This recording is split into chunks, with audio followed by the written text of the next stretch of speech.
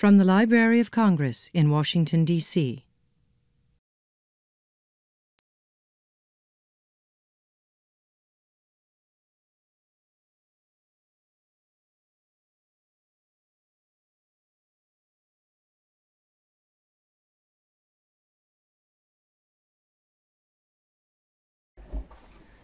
Good afternoon, everyone, and thanks for coming to our Books and Beyond event today. I'm Guy Molinar, and I work here at the library in the Center for the Book. And for those of you who don't know a lot about us, we're a small division of the library, and our mission is to promote books, reading, libraries, and literacy.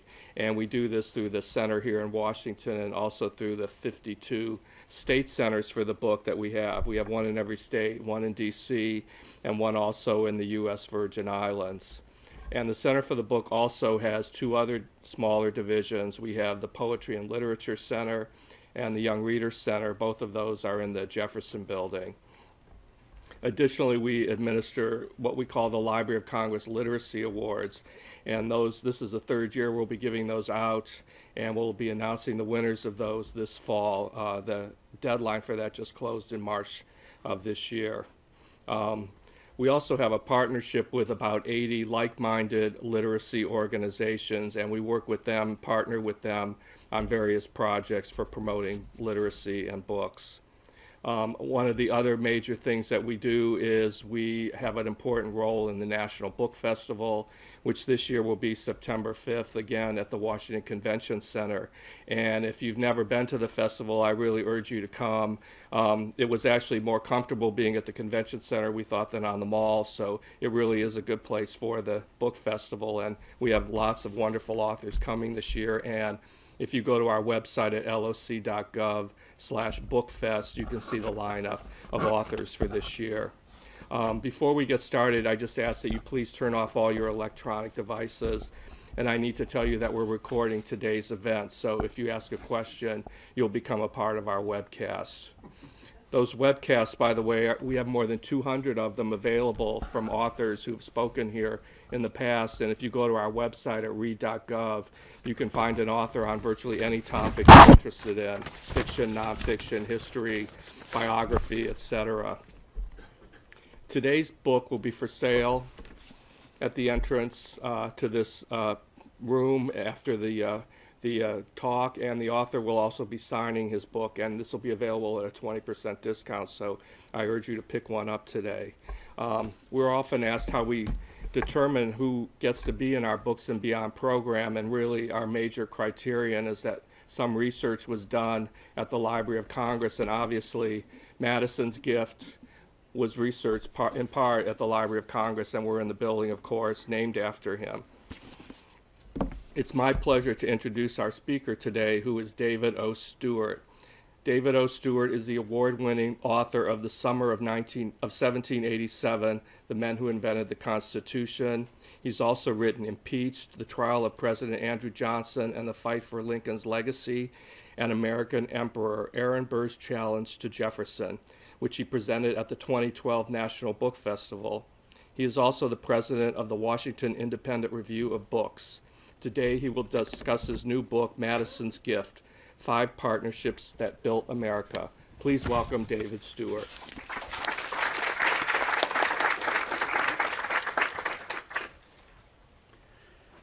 Thank you, Guy, and thank you all for coming out here today. I do love being here uh, at the library. I have my little cubbyhole over in the Adams building where I can hide, and best of all, they keep my books. Um, and uh, it is great to be in the Madison building. Uh, part of the talk will be about how Madison is not recognized to the extent he should be, um, but this is the major institution in Washington that has recognized Madison, so that's another virtue of the Library of Congress. Um, I became fascinated with James Madison for two major reasons. And I, you know, if you heard the titles of my other books, I have written in this era before, but it really was that he was so central to the nation's founding, and I have become persuaded that he was really more central than any figure other than George Washington. Um, he's second only to Washington. And if you look at the list of uh, developments, events, uh, advances that he was central to, it's quite staggering. In the 1780s, after the Revolution, uh, we make peace with Britain. The nation is really at risk of falling apart. There's an expectation we'll break up into three nations. Madison takes the lead in the effort to call a constitutional convention to change the government, that our government isn't working. Of course, he is a leader at the convention itself, often referred to as the father of the Constitution. Uh, he takes the notes of the debates there, which are an invaluable resource to us. Uh, the fight for ratification afterwards, which was no sure thing, um, led him to participate with Alexander Hamilton in writing the Federalist Papers. Really, they began as propaganda to support ratification, but really ended up being the finest political writing by Americans ever. Uh, the fight for ratification was real, uh, was a political struggle, and he led that fight as well in one state after another. When the new government began, he was the leading member of the first Congress, which established the new government. He wrote the legislation that created all of the uh, departments. He also wrote the Bill of Rights. That's pretty cool. Um, and he secured their adoption through Congress. Uh, he co founded the first American political party. I always feel a little twinge when I say that because I think he would not like to be remembered that way. Uh, he wasn't a big fan of political parties. Um, but I will talk more about how he and Jefferson did that and why. It was called the Republican Party. It's still with us today. It's called the Democratic Party now. Uh, and it has changed in some significant ways. Um, in the pivotal election of 1800, he and Jefferson were co architects of this key moment when the government changed hands. It's often said that in a democracy, the true test is whether there can be a peaceful transfer of power between two contending factions. If you've been following the coverage of the Nigerian election in the last couple of weeks, they seem to be at that moment there, and it's a great moment. Uh, for us, that moment was at 1800, and Madison and Jefferson were the ones who made that happen. He was Secretary of State for eight years and oversaw the purchase of the Louisiana Territory, which doubled the size of the nation. He was our first wartime president, led the nation into and then ultimately through the War of 1812. And when he leaves office in 1817, uh, the nation is prosperous, it's happy, uh, it's bursting. Our migration to the West and our immigration from Europe is uh, really quite uh, explosive. And it struck me that Madison might be our only two term president who had a better second term than his first term. If you think back to your own life, uh, the second term is tough. And Madison actually finished better than he started. So you have this long, dazzling list of achievements. And for 30 years, he's at the center of American uh, history. But he's not noticed that much. I found myself telling the editor that he's sort of the Zelig of American history. He's there, he's always there, but nobody's paying much attention to him. And that's an interesting question. Why is that? There, of course, is a flip answer. Uh, he was short, he was skinny, he had a soft voice, he didn't stand out in a crowd. This is an artist's rendition of the signing of the Constitution at the Constitutional Convention. If you look at it for a while, you can pick out Madison. He's the fellow standing next to the big guy, Washington, and he's holding a quill pen, so we, we notice him there. But in large groups, he tended to disappear. When you had an, someone of immense stature, both physical and, and moral stature, like Washington, or you had someone with remarkable charisma, like Thomas Jefferson, who was large and charming and would really take over a room, or if you just had noisy people like John Adams or, or Alexander Hamilton. Madison was hard to notice. Um, he was very short on charisma. But I think there's another answer, which is a bit more interesting, in that Madison was really different from most great leaders. Leaders really tend to have a strong streak of narcissism they want to be at the front of the parade, preferably on a white horse. They crave recognition and acclaim. Madison did not have those qualities. He disliked public events, never became comfortable at them. There's a wonderful moment when he is attending his own inaugural ball in 1809. This is his, he's at the pinnacle of his political career. He has just been elected president and sworn into office, and an old friend greets him and says, Isn't this a wonderful occasion? And Madison says, I'd rather be home in bed. and it was true. He cared about results, not applause, about making the American experiment in self government a success, about realizing the promise of the American Revolution, the promise of human liberty, of self government. That was the work of his life. That's what he cared about. A long term colleague offered a striking description that stuck with me. Under all circumstances, he was ever mindful of what was due from him to others, and cautious not to wound the feelings of anyone. Well, those are two interesting qualities for a leader, but the one that stuck with me was ever mindful of what was due from him to others. I think many leaders are very mindful of what's due to them from us. when you look at his great achievements and his qualities, it does emerge, or it did to me anyway, that he rarely operated alone. That his great achievements were most often the fruit of partnerships.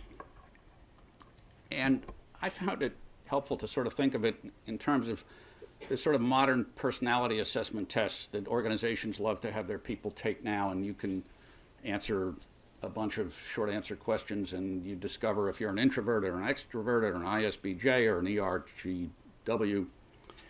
And he was able to determine, maybe even just by looking in the mirror, that he was in fact short.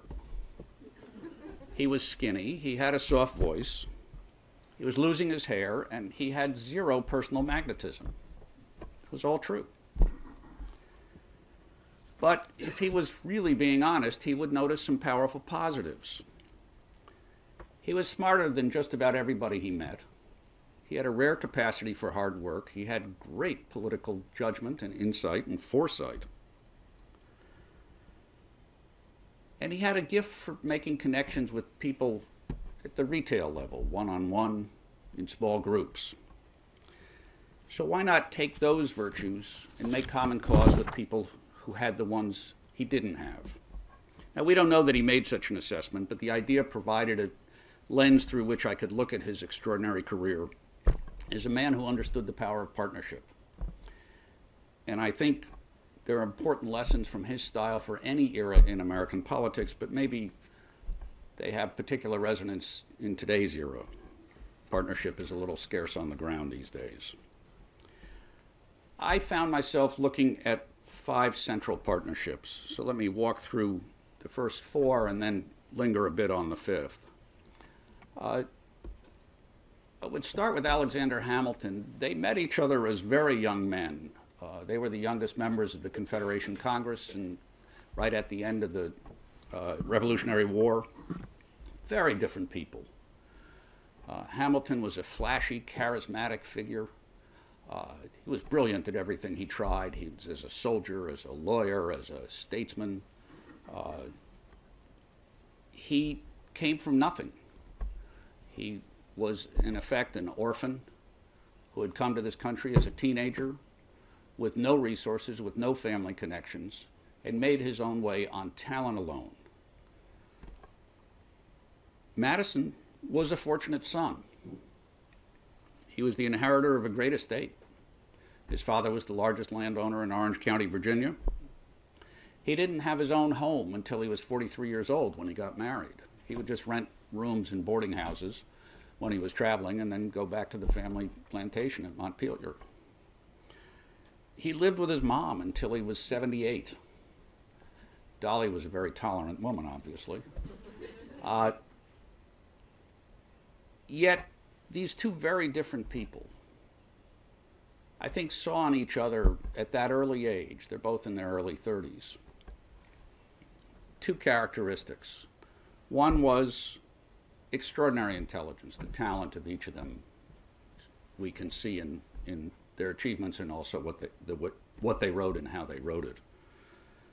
but also their tremendous impatience and commitment to making the United States a true nation and a great nation. They both were at the Constitutional Convention, and neither of them much liked the Constitution. Madison thought the Senate was an atrocity. To have not proportional representation bothered him terribly. He thought Congress should have the power to reverse state actions. He thought the states were the instruments of the devil, were doing terrible things. Hamilton's dissatisfaction was even greater.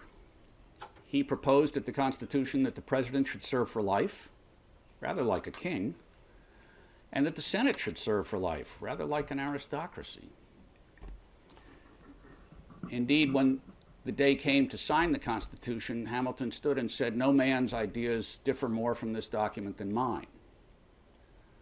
But this is the best we're going to get. So I will sign it and I will commit myself to it. And they both concluded that this was the best document they could get. This was our best chance to make it as a nation. And so they led the ratification fight. The Federalist Papers were Hamilton's ideas initially. He recruited, tried to recruit three different New Yorkers to participate with him, and they fell away for different reasons. And finally, Madison was his fourth choice, and a brilliant one it turned out.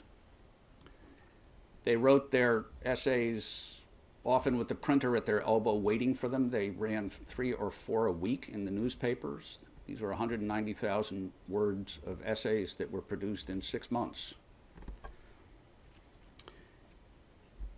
There is debate over how much it actually influenced the ratification. It's hard to tell, but we do know that it was brilliant. And we also know that Madison and Hamilton jointly le- coordinated the effort for ratification in each of the states and then went to their respective home states, New York for Hamilton, Virginia for Madison, and led the ratification fight, very tough fights, in their conventions. Now, the second partnership is with the ultimate leader, George Washington.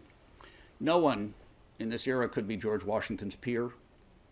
He had won the loyalty in the hearts of Americans through eight years of the Revolutionary War.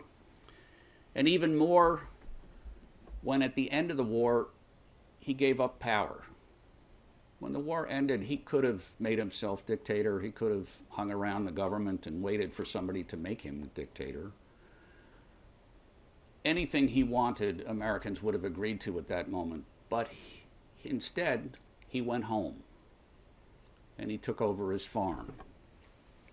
It is the most extraordinary act of self denial. It was, it's one level extremely cagey. There is no better way to earn someone's trust than to walk away from power. Indeed, when King George III heard the story that George Washington had given up power and gone home to his farm, he didn't quite believe it.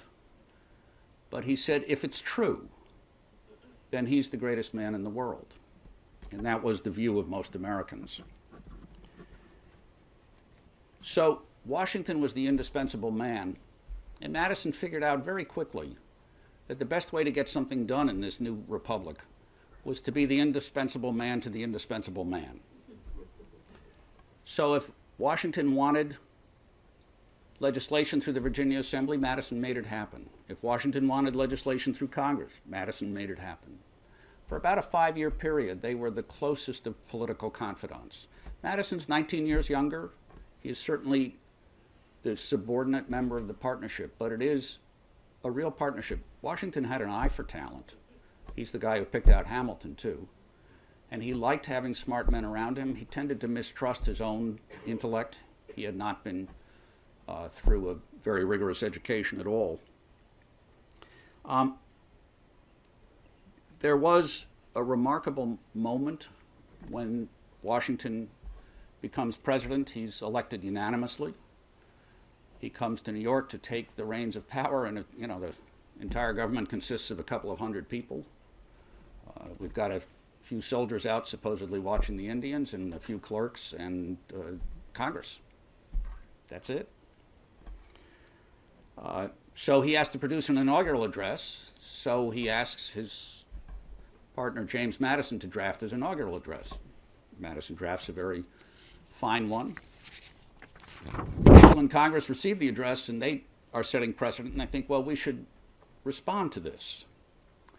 So they turn to Madison and ask him to write the response. And Washington gets the response, and he's not quite sure what to do. And he decides, well, I should be gracious also. And he decides he should reply to it. So he asks Madison to write the reply. So you have this first year of the government, which involves James Madison talking to himself. Um,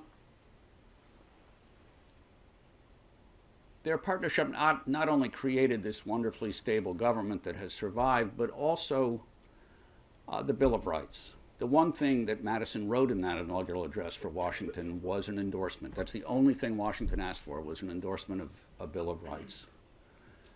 The Constitutional Convention had passed over that issue, had actually decided not to include one. It was a mistake. Madison realized that. And he used Washington's support to get it through Congress and then to win ratification. Now, the, the third partner is the one we think most of, I think, to the extent we do, which is Thomas Jefferson. Uh, Jefferson and Madison really were soulmates.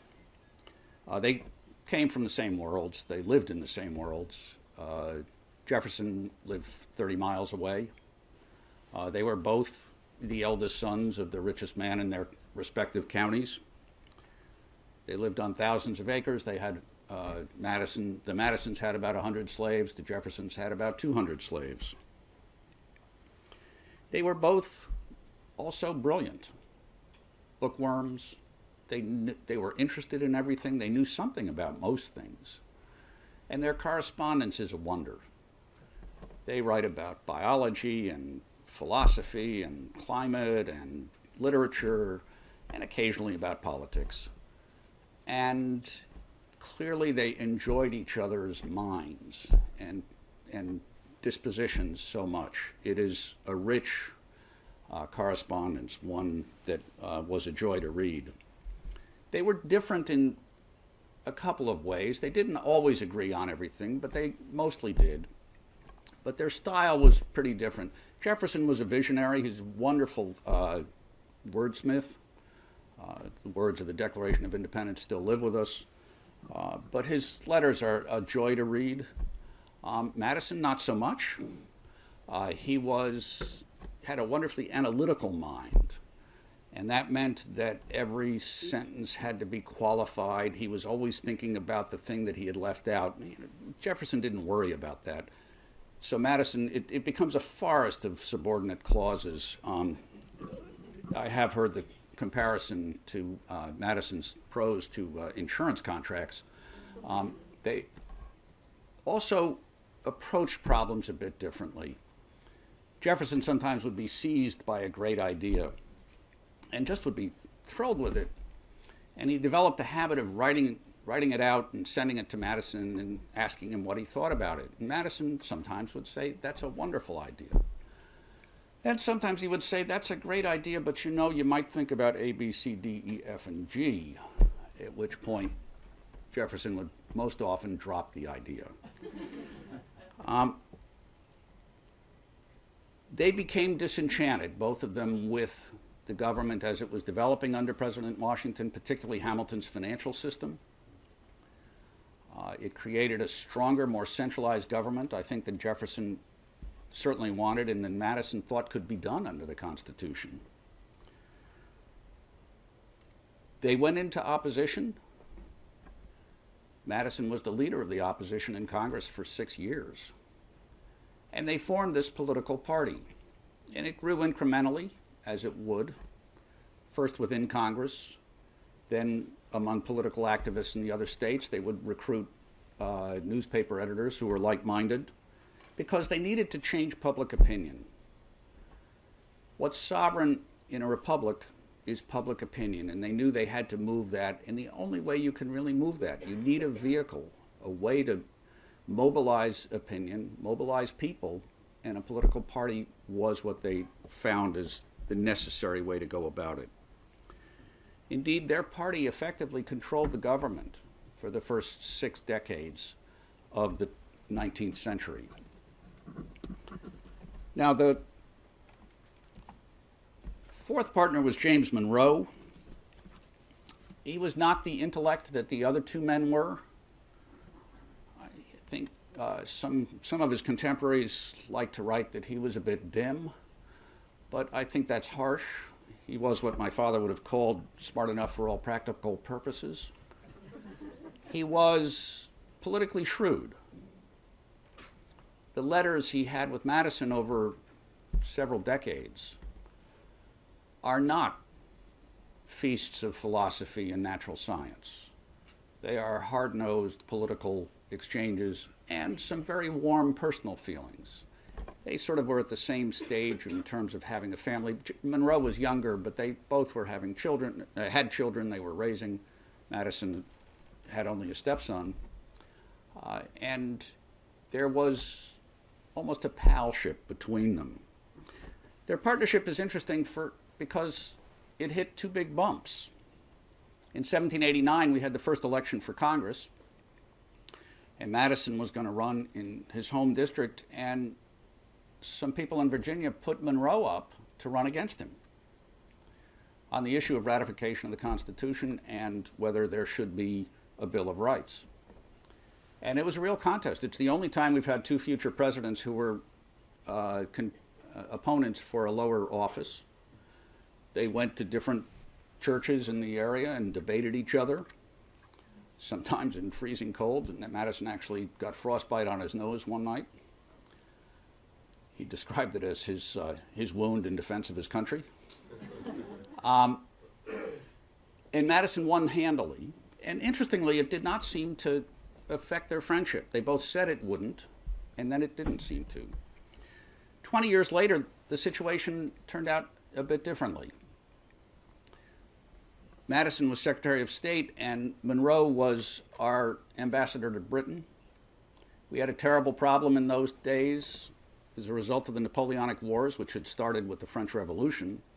For 20 years, basically, Britain and France were in a duel to the death and we were the collateral damage. Our ships were trying to trade with both countries and make money from both. What could be better? And both countries took a dim view of that, intended to seize our ships or to take our sailors, which was what the British did, the impressment issue.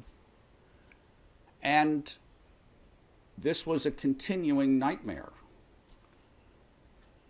Jefferson never wanted to have war, so he just absorbed it. And Monroe was asked to try to come to some sort of treaty with the British. The British were of no mind to give us any concessions. They were fighting Napoleon, after all. So he sent back a really bad treaty, uh, which gave us very little. Jefferson and Madison hated it, and they stuck it in a bottom drawer, and they never showed it to anybody. Monroe was mortified. He had spent three years negotiating this treaty. He thought it was the best that he could get and that it would ensure peace. So he broke off relations. And for two years, neither Madison nor Monroe spoke with each other or corresponded with each other. Indeed, Monroe's name was entered as a candidate against Madison in the 1808 presidential election. He was not a serious candidate, and in those days, you didn't actually run for office, you just stood for office. It was a much better system, frankly. Um, but it was a real difficult time. About two years into his presidency, Madison knew, and this is an area where I depart from some of the classic learning on the War of 1812, which is that at least I was taught as a young boy that the war hawks in Congress led us into war. You know, Henry Clay and John C. Calhoun, and I just think that's silly. It was James Madison who led us into war. He decided that we could not absorb the indignity uh, that was being meted out on the high seas day after day, and we had to fight to be a respectable nation. But he had a bad Secretary of State who was not only incompetent but was also disloyal. He kept disclosing confidential cabinet conversations to the world. And he needed to replace him, and he needed somebody strong to replace him with. So he reached out to Monroe, and they patched up their quarrel. At that point, Monroe really wanted to get back in government. He was an ambitious fellow. And he came into Madison's administration as Secretary of State, was an important pillar of that administration. He was had been a soldier as a very young man in the Revolutionary War. He always had a martial quality. He had this sort of personal vigor and vitality that you know Madison just did not. And he gave a lot of strength to the administration. He served as Secretary of State and as Secretary of War, and for two periods he served simultaneously as Secretary of State and Secretary of War. I think he may be the only person in American history who has done that.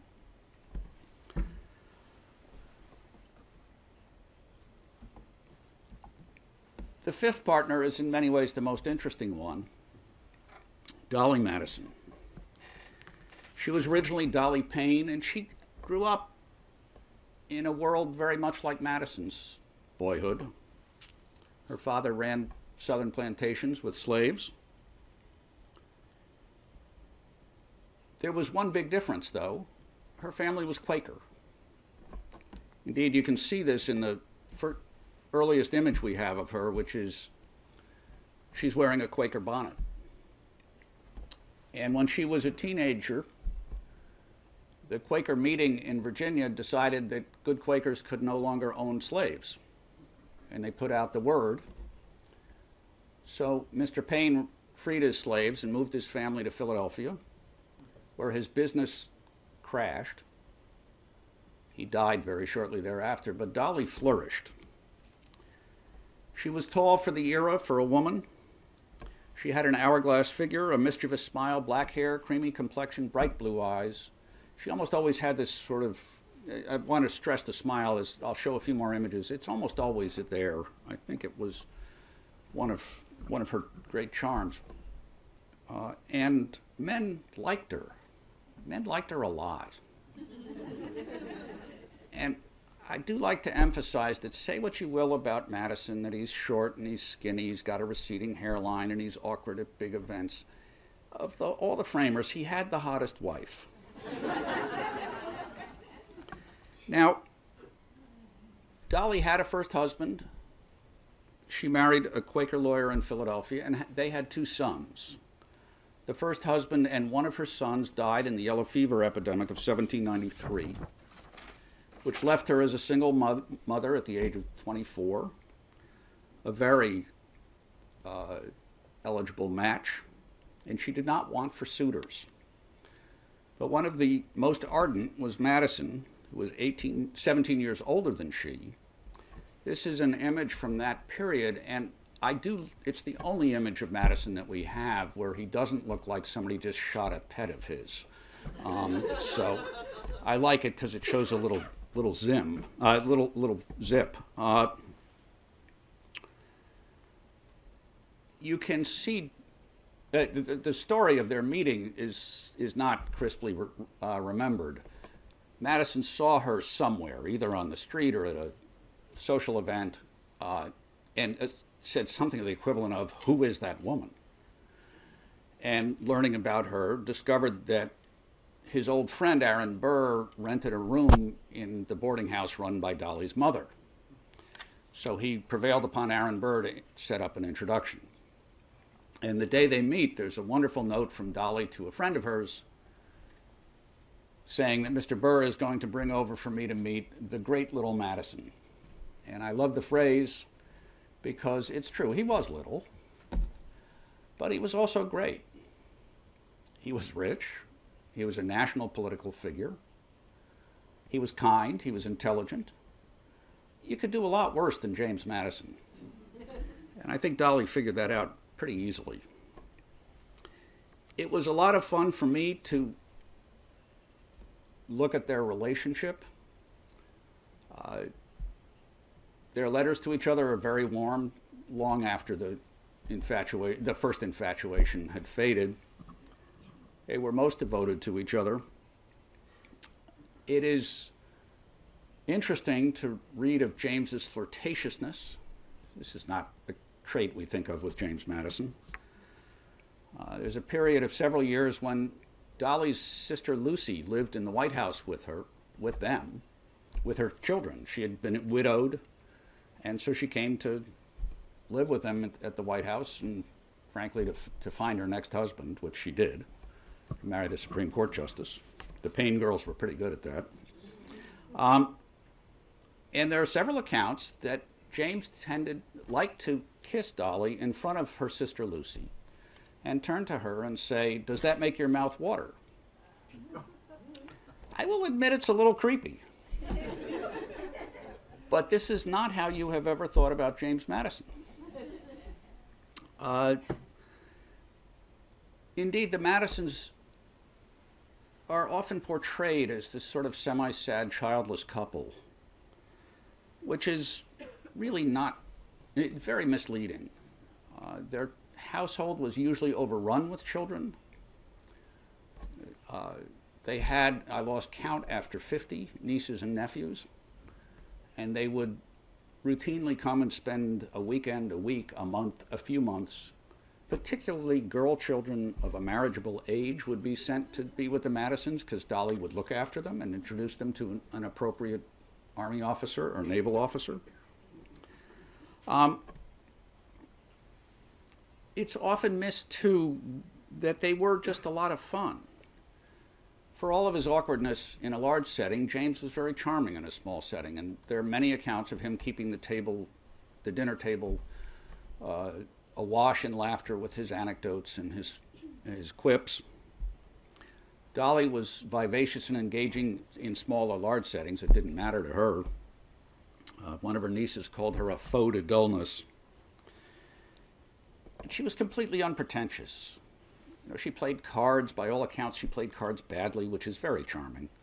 Um, she took snuff, uh, in, you know, at public events. There was just Dolley. There, she, at one point, was carrying a copy of Don Quixote around with her at a at a social event, and somebody said, "Why do you have that there?" And she said, "Well, if the conversation flags, it gives me something to talk about."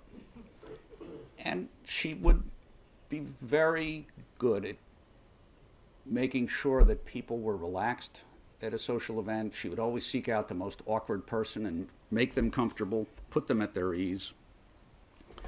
Um, on the subject of fun, th- this is the house at Montpelier. If you haven't been there, they've restored it wonderfully. I hope you get a chance to get down there. Um, you'll see the porch in the front. Um, it's not a giant porch, but apparently in retirement they would run races against each other on the porch. And they wouldn't have been that grueling, but it does give you a sense of their spirit. Um, and I think it's important not to make light of Dolley's social contribution. Um, this is an image of her sort of in her flower of womanhood, perhaps. Uh, and she understood the need to provide glamour and charisma to a presidency that otherwise had none. Uh, she was the center of attention at social events. James would always greet everybody and then would retire to some corner with a couple of other gentlemen and they would talk business. Dolley would stay in the center of the room, enjoying everybody there. There's a wonderful moment when uh, Henry Clay says to her, Everybody loves Mrs. Madison, and she says back, That's because Mrs. Madison loves everyone. It's not strictly speaking true. Actually, she could be more caustic about people than James could. But people thought it was true. It seemed to be true. And as we know about politics, it's far more important what seems to be true than what is true. Um, indeed, as Lady Presidentess, we didn't have the term First Lady then, they called her Lady Presidentess. She started wearing uh, white turbans, either uh, velvet or satin, and she would put a feather in the top of the turban, and sometimes a piece of fruit. And she was a large, a largish woman anyway, so you just always knew where Dolley Madison was. You just looked for the fruit. um, office seekers learned that if they wanted a position, they could do far worse than to approach the lady presidentess. And we know that many did, and some of them got jobs. We have no record of how Mr. and Mrs. Madison dealt with those matters, but there's not really much doubt that they did. Dolley was, in fact, a political partner, always a loyal and sure footed one, but she really helped forge a new Republican style for the nation. The Federalist candidate for president in 1808 said that he had lost the election to Mr. and Mrs. Madison, and then added, I might have had a better chance had I faced Mr. Madison alone. Now, Dolley's shining moment came on the worst day of Madison's public career, which was the day the British marched into Washington and burned our public buildings, including the White House. This left a great black mark on his presidency. I think it's why he doesn't make the list of five best presidents. And it was humiliating. And people around the country denounced him, called him a coward for leaving Washington in the hands of the British. Now, not sure he single handedly was going to be able to f- fend them off, but and it was better not to fall into their hands as a captive. But it was a terribly disappointing moment. But this artist's rendition is of a moment that Americans loved, which is right before the British were expected. Dolley had packed up the silver and the public papers and was going to hustle them off to Virginia.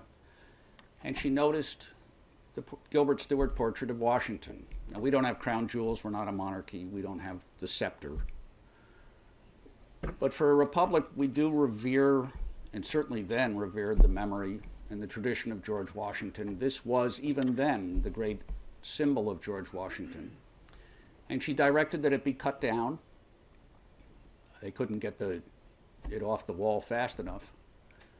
And spirited out of Washington and hidden that act of spirit and presence of mind cheered many Americans and gave them a reason to celebrate Dolley other than her ice cream and cakes.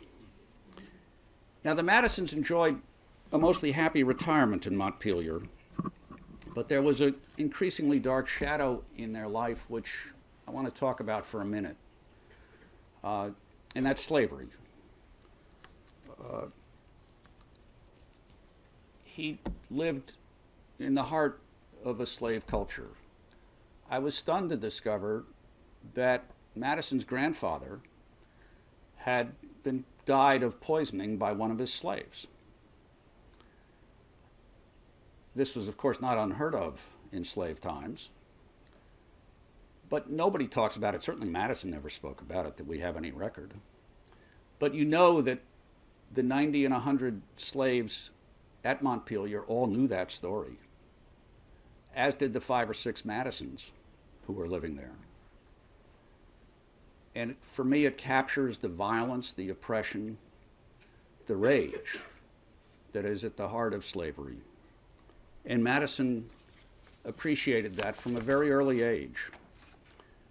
As a young man, he struggled with the contradictions between slavery and his professed dedication to American liberty. He bought land in upstate New York and told a friend he wanted to move up there and never live on the labor of slaves. And then he dedicated his life to human freedom, but he never moved and he lived on the labor of human slaves his whole life. The contradiction was excruciating. He feared, through his years of statesmanship, slavery above all might destroy this American nation. He said it repeatedly, he said it at the Constitutional Convention, he said it in correspondence. In his rich public career, when he had so many responsibilities, it seems to me he was able to compartmentalize this a bit and get it out of his mind, some, most of the time. But with retirement, it came back at him. He was living in Montpelier. The slaves were still there. He mostly didn't leave Montpelier, and he owned these people. He became obsessed with coming up with a solution. he had dealt with the country's biggest problems. When it seemed to be falling apart in the 1780s, he had led the fight for a new government and for the ratification of the Constitution. When we were being pilloried across the oceans, he led the nation into the War of 1812 and won respect for the, the nation. And this was the third great challenge. And he came up with crazy ideas. We would sell off all our public lands in the West, and we'd use the money to buy slaves out of bondage and send them somewhere else. He couldn't imagine an integrated society. They just had to be taken someplace else Africa, South America, out west. It was a pipe dream. There were two million slaves in the country when he's doing this. And it's becoming bitter. The abolitionists are now beginning to agitate. He lived to 1836. He saw real anger over slavery break out in the nation. He lived long enough for the Nat Turner Rebellion in southeastern Virginia, where slaves rose and slaughtered 60 white people and then themselves were slaughtered. And this scared him. But ultimately, it was the problem he could never solve. And most disappointingly, he never himself freed a single slave.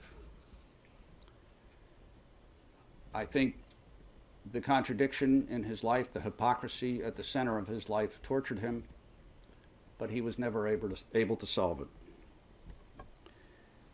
One of the fascinating questions that we also are not able to answer is what Dolley thought, because she'd been raised a Quaker.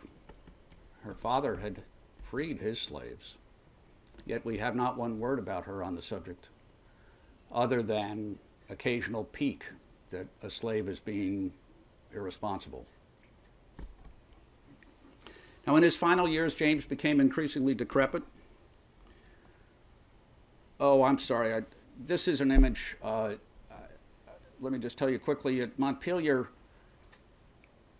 when he went there in retirement, he got tired of Northerners and Europeans coming to see him, and they would come to see him all the time. This was something you were allowed to do. You would just go see a president. Um, you just drive up and say, "Here I am," and they, he was he would give you dinner, um, and they would le- lecture him about slavery. So he decided to sort of create this object lesson on how slavery wasn't so bad. Uh, usually, slave quarters would be sort of on the other side of the hill or hidden away because they were pretty crummy. So he built nice slave quarters for his house slaves. They had glass windows and doors. And they're rebuilding them at Montpelier to show what he had done. It's sort of a Potemkin village, even. And I find it almost more heartbreaking because instead of freeing any slaves, he does this. Um, he was just not able to come up with a sensible response. Um, in retirement, we do have this image of him just two years before he died.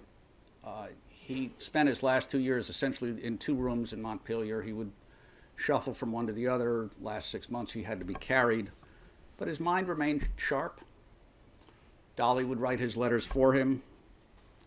She wrote a friend, his hands and fingers are still so swelled and sore as to be nearly useless, but I lend him mine. After he died in 1836, Dolley tried to hang on to Montpelier. She was not a woman of business. Those were bad times, economic times in Virginia. And ultimately, she lost the plantation. She moved to Washington, and the one great virtue of that is she lived long enough to have her photograph taken. So, of this generation, she's the only one we have a photograph of. And again, you have that hint of a smile on her lips. And I think you also can see her strength of character. Her final few years were spent in a sort of genteel poverty, though. Now, having held forth on two of, on all of Madison's productive partnerships, I want to finish with a note about Madison himself because I think he was able to form these partnerships because of who he was. We often think of him as this disembodied intellect. One of his contemporaries said of him, I've never seen so much mind in so little matter. Um, but I think his greatest qualities actually were his genuineness, his integrity, his modesty, his open heartedness. That's what these five big personalities appreciated about James Madison. And I find these qualities captured in an episode when he receives the news of the peace treaty that ended the War of 1812. As I said, I think Madison pushed the nation into war. He thought it was essential. But it was not a happy war. Much of the nation opposed it. New England refused to send militia. Uh, they stopped paying their taxes to some extent. But this is now in February 13 of 1815, 200 years and two months ago. He's no longer in the White House. Of course, the British have burned it down. He's at the Octagon House, which is over on 17th Street. It's still standing. And a rumor arrives that there is a treaty with Britain. And a Pennsylvania senator rushes to Octagon House to ask Madison about this. Let me read a couple of sentences from the book. The senator found the house dark, the president sitting solitary in his parlor, in perfect tranquility, not even a servant in waiting. The senator asked if the rumor was true. Madison bade him sit down. I will tell you all I know. Then he confirmed that he thought there was peace, but he had no official confirmation. The senator recalled with some wonder what he called the president's self command on the occasion and greatness of mind. The War of 1812 truly had been Mr. Madison's war, as his opponents called it. It was about principles, not gain. It was fought with a quiet tenacity, sometimes ineptly, and with endless tolerance of those who opposed it. As a friend of Madison's wrote years later, the war had been conducted in, in perfect keeping with the character of the president. And when peace came, Madison welcomed it in a darkened, darkened house, alone with his thoughts. Thank you.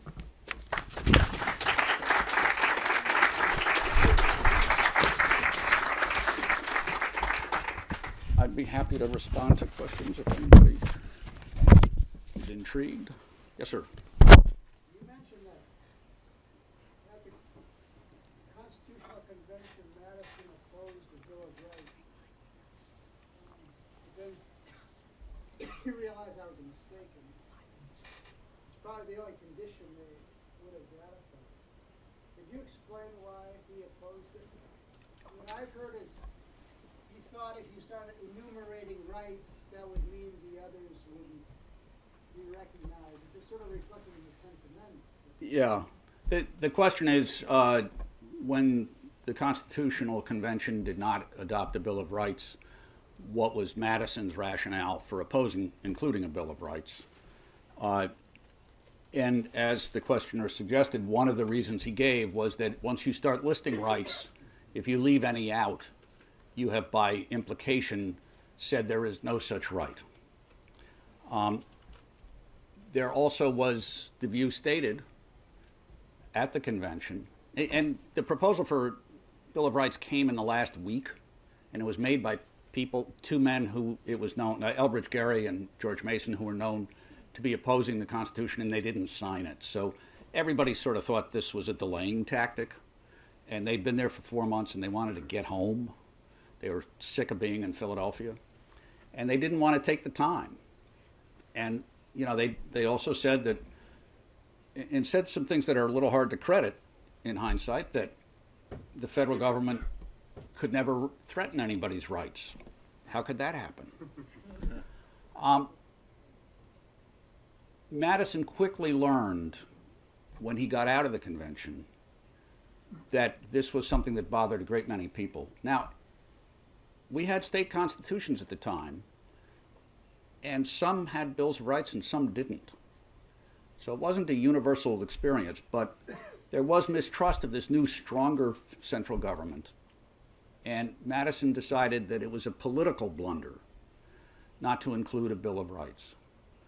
Uh, and his reason uh, for including it was to reconcile the people to the government. Uh, he actually thought a Bill of Rights was likely not to be terribly important. When he introduces it in Congress, he says, I think you will find this not inappropriate and not altogether useless. And sort of a setting the bar low. Uh, he thought that in times of crisis, a government would ignore rights. Uh, I think our experiences probably bears that out a bit. But he hoped that it ultimately would change our political culture so that we became a culture that valued individual rights. That was the greatest promise he saw in including a Bill of Rights. Um, but he did not think it was terribly important.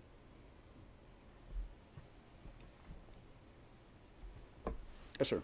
Uh, when the um, Constitutional Convention was over and the debates and so forth, um, the Committee on Style turned to uh, Gouverneur Morris to write the, to put it in final form. And uh, he also apparently crafted that eloquent preamble uh, to the Constitution. So, uh, but he's virtually unknown. Uh, Madison may be underappreciated. Governor, Mor- Gouverneur Morris is, is almost unknown by, by most people. Should he be receiving more credit for, um, for uh, the language of a constitution that we have today? The question is, after all, Gouverneur Morris wrote the final draft of the Constitution. Why doesn't he get any love?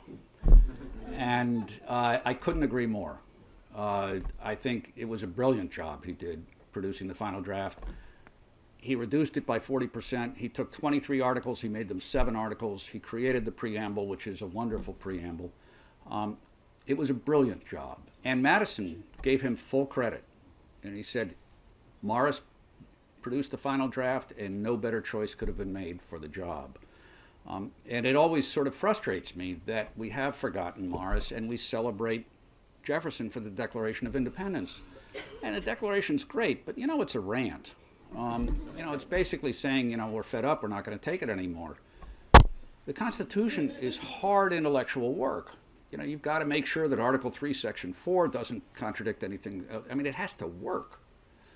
Uh, and Morris could not only write clearly most of the time, but also was able to make it coherent. Um, so I couldn't agree more that that achievement should be recognized. What you find with the founders, or some of them anyway, is if their later careers were somewhat uh, notorious, they got forgotten. And Morris's later career was somewhat notorious. He became, he was a very aristocratic fellow. He became quite pronounced in his aristocratic views. He married a somewhat, he made a somewhat scandalous marriage. Um, and I think that probably was a contributing factor in the act of forgetting him. Yes, sir. Yes, ma'am. Excuse me. I have a comment about uh, Madison and slavery. I'm sorry I came a little late, so you might have mentioned him at the very beginning, but um, uh, Arthur Coles, uh, sorry, Edward Coles. Edward Coles. uh, was his uh, was Madison's uh, private secretary, and he thought that he had convinced Madison to free his slaves, but in fact, um, Madison didn't because he uh, was concerned about uh, Dolley's uh, financial security as well as uh, that of her somewhat profligate son. So um, I just wanted to mention that as well. Let me just sort of add that the question relates to Edward Coles, who was private secretary to Madison, also Dolley's cousin, um, who uh, wrote after Madison's death that he thought Madison had agreed to free his slaves. He actually was almost vengeful about that and pursued the notion, which he published, that Madison made Dolley agree that she would free the slaves after his, her death or upon her death. That was always a little tricky. You know, Washington had done that with his slaves, that they would die upon his wife's death, and then Martha discovered that that meant there were a lot of people in Mount Vernon who wanted her to die. Um, and it made her very uncomfortable, so she just freed them. Um, and uh, Coles had tried very hard to persuade Madison to do something about his slaves. Coles freed his own slaves. He had a couple of, do- or a dozen or so that he had inherited. He bought them land in the Illinois territory. He took them out there and set them up on farms. And he, he hammered at Madison to do something. I think Madison was afraid you can't get past something, to be honest. It was change, it was going to be less comfortable, and it was going to pauperize him. And so he didn't do it. And he was worried, as you suggest, that uh, it would leave Dolley without resources. Uh, she was not a business person. Uh, she had many talents, but that was not one of them. Uh, and so he, he never followed through. Uh, and uh, I think it's unfair to blame Dolley for that. Actually, James knew her talents and her, her, her weaknesses. And if he was going to do something, he should have done something. And it's a disappointment for those of us who want to admire Madison and do admire him for many things. It's a, it's a disappointment. Last question here. In your research, you've had to wade through tons of primary sources. How did the library help you? You know, how do you get through or know what you need to read or what to find? Uh, well, I'm going to, they, they may cut off my mic when I say this. The question was, how did this library help me in the research here? And it is a tremendous library. I love it.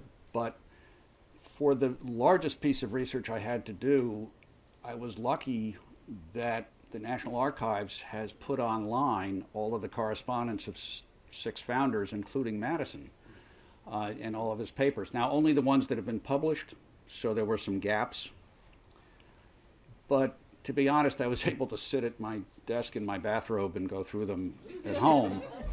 And it was delirious. It was, I mean, I first started writing history in 2005, and you couldn't do any of that. And this was an amazing uh, advance. And it's a wonderfully democratizing thing. If you're in Butte, Montana, you can do it too. Um, so that is a, is a great advance. For this library, for this project, um, I did use the newspaper collection some. Um, because I was covering 40 years of history, you just can't sit there and read the newspapers for the whole time. So I would find a period I particularly cared about and look at some newspapers then. I, I personally find newspaper research the worst. Um, uh, the microfilm is, makes my eyes hurt. Um, and of course, there are the, the manuscript collections. Uh, think I see the manuscript room person here, Jeff. uh, and uh, those were a help. And uh, the, the, the secondary sources uh, were great. As an independent scholar, they do give me a place to hide over in the Adam, Adams building where I can keep a few books on hand, and it is a great convenience to be able to go and just have them there. Uh, so those were the, the principal sources for me. Thank you very much. This has been a presentation of the Library of Congress. Visit us at loc.gov.